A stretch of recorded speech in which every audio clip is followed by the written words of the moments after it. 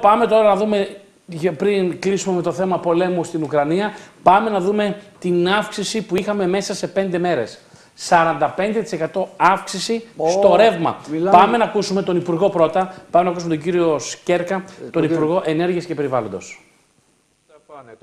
Συζητήθηκαν εχθές στο Συμβούλιο Υπουργών ε, και θέματα τα οποία αφορούν την Ευρωπαϊκή Επιτροπή και όλα τα κράτη-μέλη, ναι. γιατί δυστυχώς ε, αυτή η ρωσική εισβολή έχει τροφοδοτήσει ακόμα περισσότερο μια σφοδρή ενεργειακή κρίση, η οποία έχει ξεκινήσει πριν ξεκινήσει η επίθεση. Mm -hmm. Δυστυχώς όμως αυτή η εισβολή ε, κινδυνεύει να θέσει εκτός ελέγχου τις ε, αγορές ε, ενέργειας στην Ευρώπη και στον πλανήτη ολόκληρο, βέβαια. Άρα, εμείς πρέπει να διασφαλίσουμε την ενεργειακή επάρκεια της Ευρώπης και των χωρών μας, βέβαια, από τη μια πλευρά. Ε, και από την άλλη, βέβαια, να διασφαλίσουμε ότι θα μπορέσουμε να κρατήσουμε σε όσο το δυνατόν προσιτές τιμές και τις τιμές ενέργεια, γιατί παράλληλα έχουμε και, τις, και την οικονομία, την ευρωπαϊκή οικονομία, την ελληνική οικονομία, τα ελληνικά νοικοκυριά, τα οποία βάλλονται από αυτές τις τεράστιες αυξήσεις και απειλούνται, απειλείται η ανάπτυξη και βέβαια απειλείται και η κοινωνία μας. Άρα όλα αυτά τα θέματα εχθές τέθηκαν ε, στο τραπέζι. Πώς θα πρέπει να πω εδώ ότι η Ελλάδα, θα σας πω ότι η Ελλάδα κατέθεσε, ήταν η μόνη χώρα εχθές ε, που παρουσίασε μια ολοκληρωμένη θέση και τεκμηριωμένες προτάσεις ναι. για την δημιουργία, για τη σύσταση ενός μηχανισμού ενεργειακής αλληλεγγύης απέναντι στην ενεργειακή κρίση σε κεντρικό ευρωπαϊκό επίπεδο που θα δώσει τη δυνατότητα στα κράτη-μέλη να έχουν πρόσβαση σε φθηνό χρήμα, να το πω έτσι εγωγικά, δηλαδή σε χρηματοδοτικούς πόρους που θα τους αξιοποιήσουν για να μπορέσουν να διατηρήσουν σε χαμηλά επίπεδα τις τιμές ενέργειας και να απορροφήσουν ένα μεγάλο τμήμα αυτών των τεράστιων ανατιμήσεων.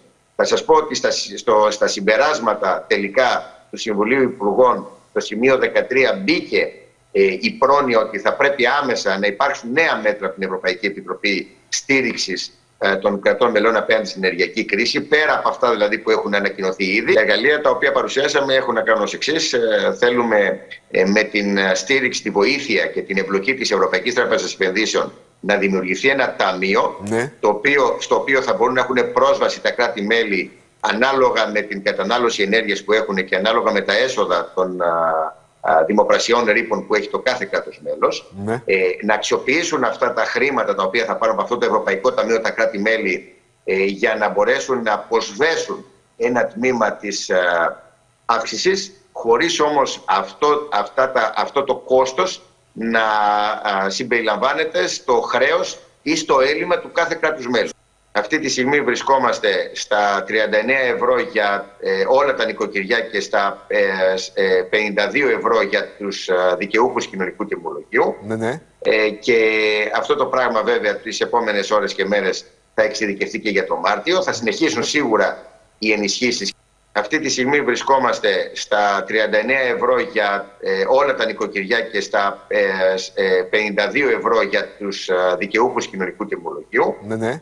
και αυτό το πράγμα βέβαια τις επόμενες ώρες και μέρες θα εξειδικευτεί και για το Μάρτιο. Θα συνεχίσουν σίγουρα οι ενισχύσεις και για τα νοικοκυριά για το Μάρτιο. Αυτό είναι το πρώτο ερώτημα.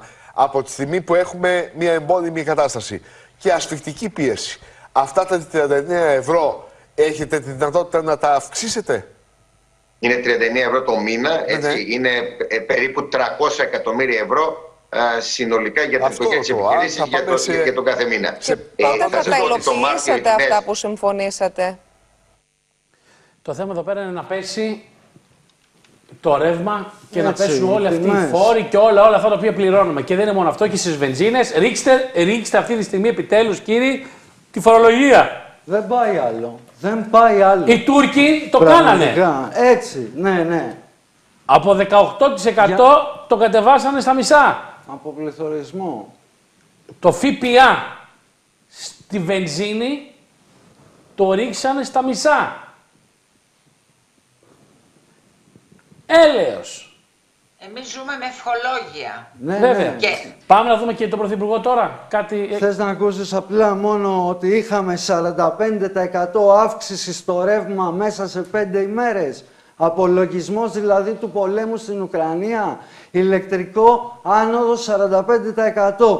Πετρέλαιο 3%. Φυσικό αέριο 10% σε ακριβώς 5 ημέρες. Ράλι τιμών είναι αυτό. Μάλιστα.